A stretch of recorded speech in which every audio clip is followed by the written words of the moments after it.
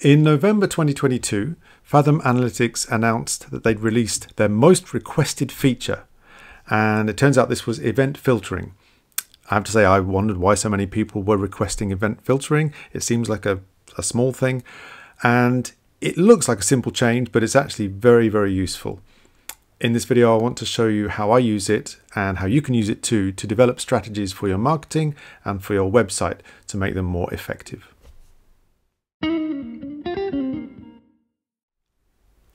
So what's so special about it?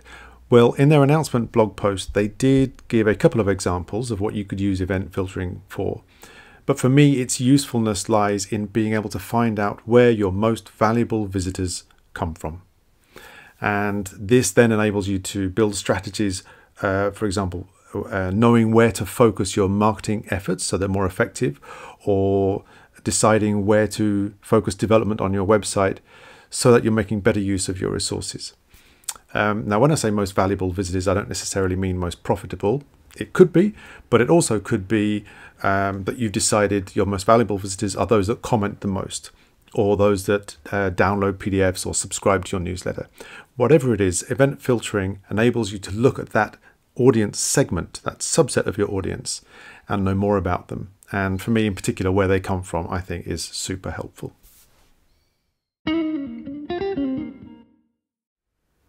I should just stop for a second and recap what events are in case you're not familiar with them.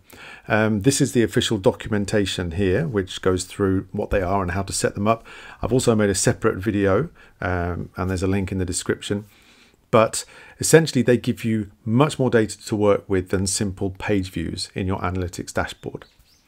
You have to add them yourself using JavaScript, but they can count user interactions, anonymously of course, uh, such as link clicks, uh, PDF downloads, form submissions, anything that can be a JavaScript event can be a Fathom Analytics event.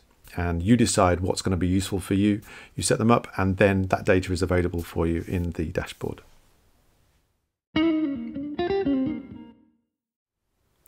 So, how can we use event filters to help with strategy? I think it's best if I show you a couple of examples of how I use the filters, and then that can be inspiration, hopefully, for you. Now, this is the general um, Fathom Analytics uh, dashboard showing all my traffic for the last 30 days on one of my websites and its visitors, views, nothing unusual there. If we scroll down, then we can see the events section. Again, you need to set up events in advance, otherwise you won't have an events section here, and you need to give it time to gather data from your visitors. So I have several events here, and you can filter through them in one of two ways. One way is to simply click on each event name, and the other way is to search using this little pop-up search box for a string in the event names. Let's stick with the easiest one first, which is simply clicking on an event.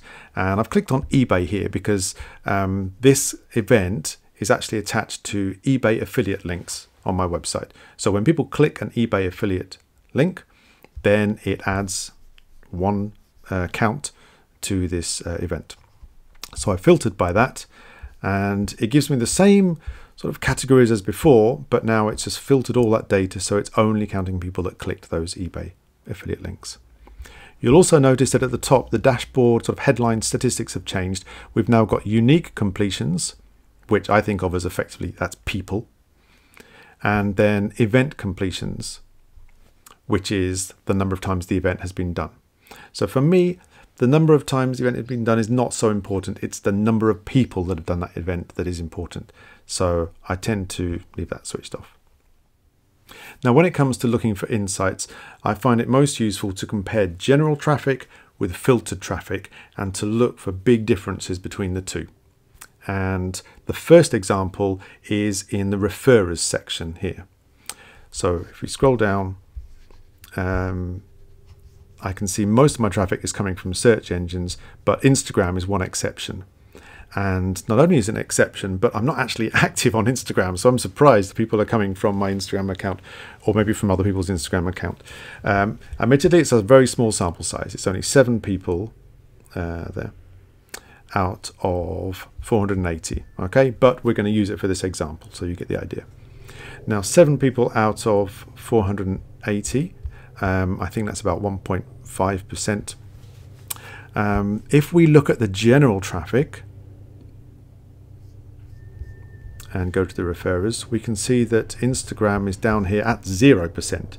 It's actually 21 people out of 15,000 general visits, which is tiny. It's 0.1%, I think.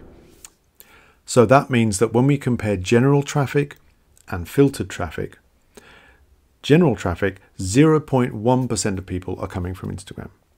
But filtered traffic, about 1.5% of people are coming from Instagram, meaning about 1.5% of people are coming from Instagram and clicking on my eBay affiliate links. Much, much more than the general traffic. So, how does that guide strategy? That tells me that these Instagram visitors are actually pretty valuable if I think about it just purely from the eBay affiliate link point of view. And so I should put more of my effort into Instagram and maybe other similar social media platforms. That's one example. Another one is uh, focusing on countries, so where my visitors are based.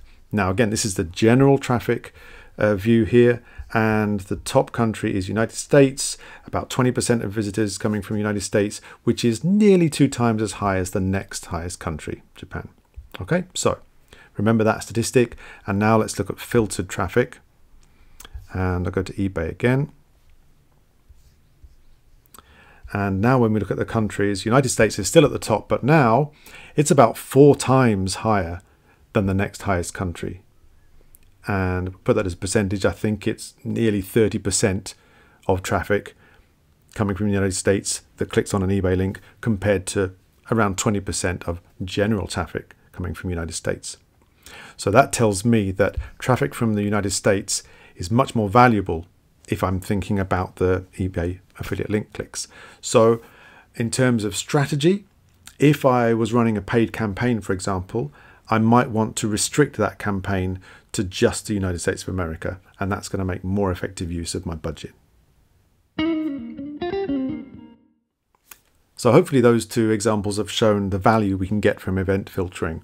And so what I would suggest in practical terms is you look at general traffic and you compare that with your filtered traffic and you look for places where the numbers are very different uh, either to each other or to what you would expect.